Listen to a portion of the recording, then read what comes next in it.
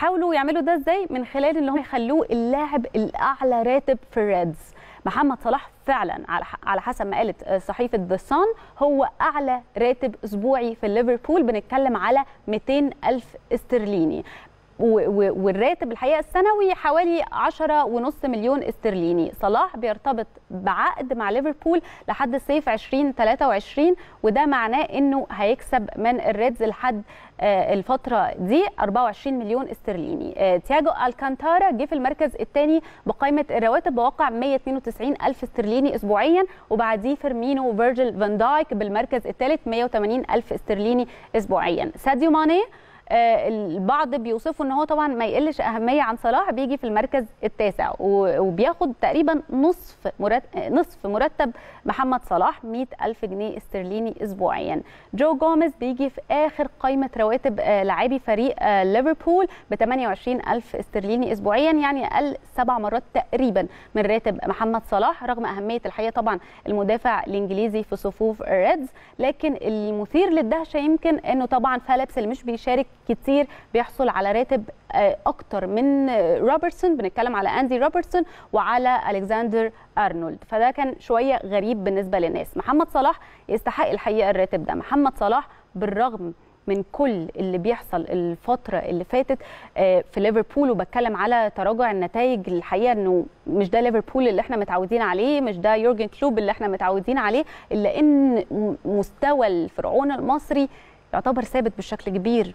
جيب أهداف وفي ثقة في النفس وبيقدم موسم قوي جدا. إحنا بنتكلم على ان صلاح دلوقتي يعني ترتيبه هو متصدر هدافي ال Premier League أو الدوري الإنجليزي قبل ما نبدأ الجولة الجديدة أو بنبدأها النهارده تقريبا. وبكرة في مباراة ليفربول مع شيفيلد يونايتد هو تقريبا ب 17 هدف. آه ب 17 هدف هو في قائمة أول القائمة بتاعت هدافي الدوري الإنجليزي. وبيجي بعديه فرنانديز برونو فرنانديز فاحنا بنتكلم إن أنت لاعب كبير قوي هداف الدوري الإنجليزي. وفي إنه الناس كلها في ثورة من جماهير ليفربول على على ال social media بيطالبوا يورجن كلوب بإن صلاح هو اللي يبدأ يرتدي شارة القيادة الحقيقة في ليفربول بداية من مباراة بكرة مباراة شيفيلد يونايتد. وخصوصا إن في غيابات كتير طبعا جيمس ميلنر هندرسون وكتير من لعيبة ليفربول الغايبة. واللي أكيد ده مأثر على على أداء ليفربول. وأكيد يعني يورجن كلوب في موقف لا يحسد عليه. بنتكلم في إنه صلاح يعني في كلام كتير إنه هيمشي خلاص من ليفربول إنه هيروح برشلونة إنه هيروح ريال مدريد وخصوصا طبعا بعد الكلام اللي كان أو الحوار اللي كان مع جريدة أس الإسبانية وإن هو مش مبسوط خلاص في ليفربول. ولكن يعني زي ما شفنا كده قائمة الرواتب تقريبا ليفربول بيحاول يعمل كل حاجة لمحمد صلاح عشان يفضل موجود. أعتقد قبل محمد صلاح ليفربول مش أعتقد هو أكيد قبل محمد صلاح وقبل التوليفة دي كلها بتتكلم على ماني وصلاح وعلى فان دايك اللي في الدفاع اللي من ساعة الحقيقة ما ما اتصاب وبعيد ليفربول في حتة تانية خالص. فعلا ممكن لاعب واحد يفرق جدا مع الفريق. بيحصل كتير. يعني في ناس تقول لك فان دايك يفرق مع ليفربول للدرجة؟ يفرق مع ليفربول للدرجة. انت علشان تغطي لاعب زي فان دايك ده صعب قوي. زي قلتها يمكن قبل كده انه بحس انه يورجن كلوب ساعات بيبقى بيبقى مفيش خط وسط وبيرجع اللعيبة دي عايز يغطي غياب. فده صعب جدا. ريال مدريد على فكرة من ساعة ما ما كريستيانو رونالدو مشي مش هو ريال مدريد برضو قوي بيفرق جدا رحيل لاعب ويمكن هنتكلم عن ده أكتر. بمناسبة الكلام على الانتقالات ومين هيمشي ومين هيقعد موضوع ميسي رجع ترند تاني حضراتكم فاكرين طبعا انه انه ميسي كان في كلام كتير عليه انه قاعد ولا ماشي من برشلونة؟ لا ده عايز يمشي. لا ما عرفش يمشي علشان الرئيس السابق لبرشلونة ما كانش عايز طبعا إن ميسي يمشي وقال إن هيبقى فيه زي شرط جزائي في في, عقده. ولكن ليه رجع يتكلم في الموضوع ده؟ علشان طبعا موعد انتخابات رئاسة برشلونة قرب واللي هو إن شاء الله هيكون في 7 مارس الشهر اللي جاي ده خلاص قرب جدا.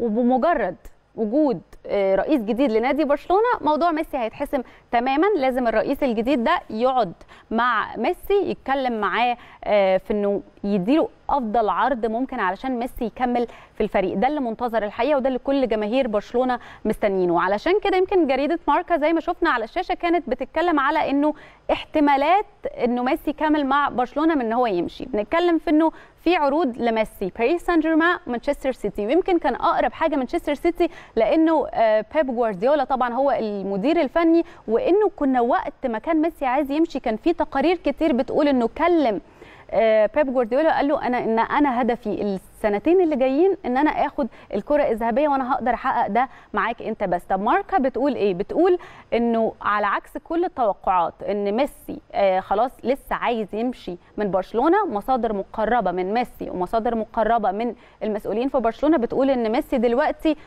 عايز يعني open to إن هو يكمل في في الفريق لا عايز يكمل في الفريق وهيشوف الرئيس الجديد لنادي برشلونة هيقول إيه. فالحقيقة إنه الكلام ده اتغير. يعني دلوقتي ميسي كل همه كل همه الفترة اللي جاية مش الفلوس ابدا. الماركة كانت بتقول إنه مش همه العقد مش همه الفلوس مش همه إن هو ياخد فلوس كتير. كل همه الفترة اللي جاية إنه يعيد بناء برشلونة بالطريقة اللي تليق ب ب ب بالنادي ده وبتاريخ النادي ده وإن هو يقدر يرجع يحقق الحقيقة الانتصارات تاني والإنجازات تاني مع فريق برشلونة. والحقيقة دي عقلية طبيعية جدا إنه ميسي يكون بيفكر كده في الوقت ده. أنت دلوقتي راجل عندك أفضل لاعب في العالم مع رونالدو عشان الناس ما تزعلش. ومحقق إنجازات كتير قوي فلوس كتير جدا خلاص حققها. شهرة كتيرة جدا حققها. كل تفكيره إن هو يفضل رقم واحد. تفكيره إن فريقه يفضل يكسب. ميسي في برشلونة من وهو عرف كرة القدم كان في برشلونة.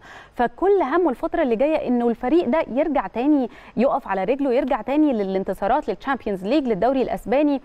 فكل ده تفكير ميسي وده كان باين قوي في مواقفه. يمكن مع نيمار لما جه يمشي وكان متضايق جدا. ممكن واحد غيره يفكر إنه نيمار أصغر مني ممكن يبقى في المستقبل هو نجم برشلونة. لأ دايما ميسي عايز الناس اللي حواليه اللي هم بيساعدوا جدا برشلونة على الفوز إن هم يكونوا موجودين سواء نيمار سواء سواريز. لما اتضايق إن سواريز مشي والحقيقة يعني أنا بشوف إن هي غلطة كبيرة إن سواريز يمشي. هو دلوقتي من هدافي الدوري الإسباني في أتلتيكو مدريد ومحقق الحقيقة نجاحات كبيرة جدا.